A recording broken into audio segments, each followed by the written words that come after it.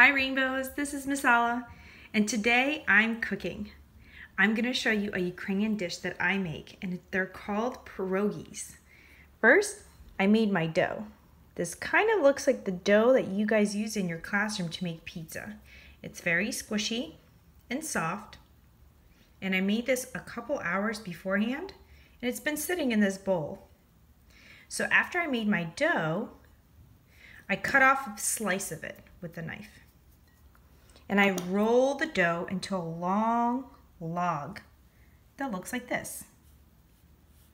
I put some flour on my countertop. All this white stuff is just flour so the dough doesn't stick. And with my knife, I cut some pieces. After I made my little pieces, I flatten them out in the dough. Kind of like you made flat round pizzas. And I use my rolling pin to roll them out flat, kind of like a small pizza.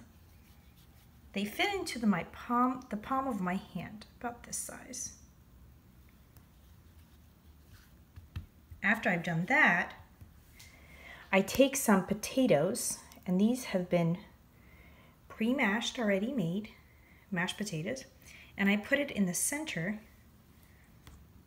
of my dough circle, like that and I fold the other end over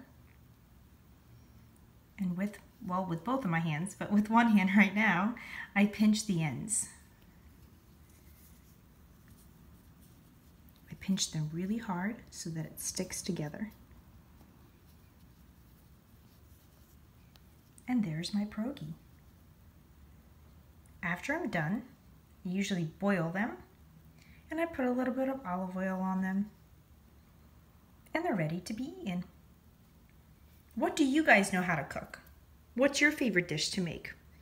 Maybe you can either make a video or write it down and talk about it during one of our Zoom meetings.